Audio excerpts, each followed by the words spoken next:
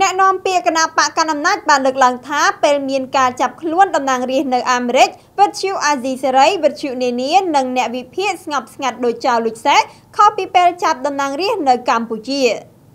លោកសុកអេសានអ្នកនាំពាក្យគណៈបកកាន់អំណាចបានរិះគន់ថានៅពេលដែលមានការចាប់ខ្លួនតំណាងរាស្ត្រនៅសហរដ្ឋអាមេរិកកាលពីពេលថ្មីថ្មីនេះវិទ្យុអាស៊ីសេរីវិទ្យុនានារួមទាំងអ្នកវិភាគដតីទៀតនោះហាក់ដូចជាស្ងាត់ឈឹងប្រៀបដូចជាចៅលួចសេះខុសអំពីកំឡុងពេលចាប់ខ្លួនតំណាងរាស្ត្រនៅក្នុងប្រទេសកម្ពុជាដែលវិទ្យុនិងអ្នកវិភាគទាំងនោះតែងតែរិះគន់ថារំលោភអភ័យឯកសិទ្ធិឬក៏រំលោភរដ្ឋធម្មនុញ្ញជាដើមលោកសុកអេសានបានបញ្ជាក់យ៉ាងដូចនេះថានៅពេលដែលចាប់តំណាងរាស្ត្រនៅក្នុងប្រទេសកម្ពុជាវិទ្យុអាស៊ីសេរីក៏ដូចជាវិទ្យុនានាបានផ្សាយឥតឈប់ឈរដោយសង្កត់ធ្ងន់ថារំលោភអភ័យឯកសិទ្ធិសភានិងរដ្ឋធម្មនុញ្ញឥឡូវដល់មានការចាប់តំណាងរាស្ត្រអាមេរិកអត់មានលើកការផ្សាយពីវិទ្យុអាស៊ីសេរីនិងវិទ្យុនានានោះទេនេះបានហៅថាវិទ្យុឯករាជ្យនិងមានវិជ្ជាជីវៈមែនតើអស់លោកបណ្ឌិតនិងអ្នកវិភាគនយោបាយមានបានមកមើលឃើញនិងដឹងពីព័ត៌មានចាប់ខ្លួនតំណាងរាស្ត្រនៅសហរដ្ឋអាមេរិកដែរឬទេ បានជាស្ងាត់ឈឹងដូចចោលលួយសេះអញ្ចឹងលោកសុកអេសានបានរីគុណបន្តទៀតថា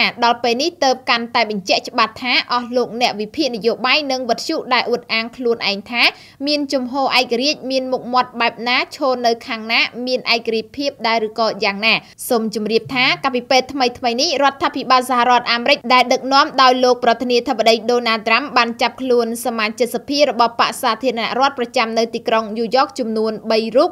ដែលបានប្រមូលផ្ដុំធ្វើបាតកម្មប្រឆាំងទៅនឹងរដ្ឋាភិបាលលោកដូណាល់ត្រាំប្រធានាធិបតីអាមេរិកដូណាល់ត្រាំបានចាត់ទុកថាការដឹកនាំធ្វើបាតកម្មនេះគឺជាការរារាំងទៅដល់គម្រោងការនិងផលប្រយោជន៍ប្រទេសជាតិរបស់សហរដ្ឋអាមេរិកហើយចាត់ទុកថាជារឿងខុសច្បាប់ទៅប្រធានាធិបតីអាមេរិករូបនេះមានសិទ្ធិចេញបញ្ជាចាប់ខ្លួនសមាជិកសភាទាំង3រូបនេះតែម្ដង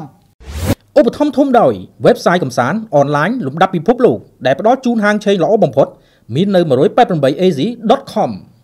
Safe Home Technology ការពារសុវត្ថិភាពលោកអ្នកជាមួយកាមេរ៉ាសុវត្ថិភាពតាមរថយន្តគេហដ្ឋាននិងការិយាល័យ